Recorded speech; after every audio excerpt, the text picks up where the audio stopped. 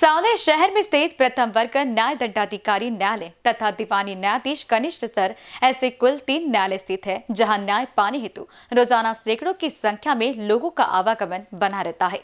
इतने महत्वपूर्ण न्यायालय परिसर के रखरखाव का जुम्मा इसी न्यायालयीन इमारत से सटे सार्वजनिक बांधकाम विभाग की तरफ़ है। लेकिन सार्वजनिक बांधकाम विभाग की नजरअंदाज व लचर कार्य प्रणाली से न्यायालय परिसर में गाजर घास कटीले पेड़ तथा भारी जल जमा आम जनता के साथ साथ परिसर में रोज़ाना आने वाले न्यायाधीश, अधिवक्ता तथा नागरिकों के लिए परेशानियों का सबब बन जानलेवा साबित हो रहा है। ज्ञात हो कि न्यायालय परिसर में आगंतुकों के लिए बैठने तथा उनके वाहनों की पार्किंग हेतु भव्य पटांगन उपलब्ध करा गया है, परंतु स्थानिक सार्वजनिक बांधकाम विभाग के दुर्लक्ष्य से उक्त पटांगन खुद समस्याग्रस्त है।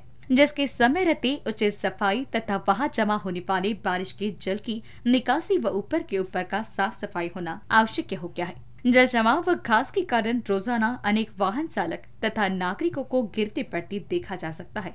तो वही सांप बिच्छू जैसे जहरीले जीवों को भी प्रांगण में बेखौफ घूमते देखा जा सकता है। सावनेर तालुका व बार एसोसिएशन द्वारा अनेकों संबंधित विभाग को मौखिक सूचना दी, परंतु स्थिति में कोई बदलाव नहीं आया है। अगर स्थानीय सार्वजनिक बांधकाम विभाग का ऐसा ही रवैया जारी रहा तो इस परिसर में कोई बड़ी अप्रिय घटना को नाकारा नहीं जा सकता। ऐसे परिसर में स्थित न्यायाधीश निवास के बाहरी परिसर तुतुर मुख्य द्वार पर बड़े बड़े कटीले पेड़ उगकर आए हैं। वही निकास स्थान के आगे ही भारी जल जमाव हमेशा ही बना रहता है। शासन के इतने महत्वपूर्ण विभाग तथा अधिकारियों के परिसर का यह हाल है तो सार्वजनिक बांधकाम विभाग के अधीनस्थ अन्य विभागों का तो भगवान ही मालिक है। को स्वच्छ करने की जवाबदारी ये पीडब्ल्यू डिपार्टमेंट की रहती है। और पत्रकारों ने, आप लोगों ने भी जो सोमोटो एक्शन लिया है इस बात का, उसकी सभी न्यूज़ जो प्रकाशित हुई है, वो विविध पेपरों में हुई है। इसके बावजूद भी जो पीडब्ल्यूडी डिपार्टमेंट है, वो सोया हुआ है। वास्तविक ये जवाबदारी जो है पीडब्ल्यू डिपार्टमेंट की है तो पीडब्ल्यू डिपार्टमेंट ये सब साफ़ सफ़ाई रखनी चाहिए। कुछ पक्षकारों ने बताया है कि यहाँ पर साफ़ बिच्छू निकलते हैं और ये साफ़ सफ़ाई की जवाबदारी जब तक पीडब्ल्यू डिपार्टमेंट खुद के ऊपर लेता नहीं, तब तक ये पक्षरों को, वकीलों को, न्यायालयों को तकलीफ़ हो रही है। सार्वजनिक बांधकाम, ये दोनों डिपार्टमेंट को इसके बारे में ओरली कन्वे किया है और रिटर्न में भी उनको अभी देने वाले हैं।